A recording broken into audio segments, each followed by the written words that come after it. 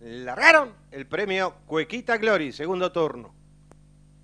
Asume la vanguardia por el lado interior de la pista del 3 junto al 2, abierta el 5, más atrás el 6, el 1, el 4 y el 7, descontados los primeros metros, hay lucha. 3-5 cabeza a cabeza, el pescuezo por dentro queda el 2, abierta gana terreno el 6, a dos cuerpos queda la número 4, van a enfrentar la demarcación de los 800 metros, ahora el 5 les tira cuerpo de ventaja la número 6 que sale a buscarla, quedando la tercera ubicación en el número 3, a cuerpo y medio del fondo vienen el 4 y el 7, más atrás el 2, pasan ahora por los 700, casi mitad de codo, se trenzan en lucha, 5-6 cabeza a cabeza, a dos cuerpos queda el 3, por fuera lo hace la número 7, más atrás el 4 y el 2, las competidoras se aprestan a abandonar el código y van a hacer su ingreso en la recta final.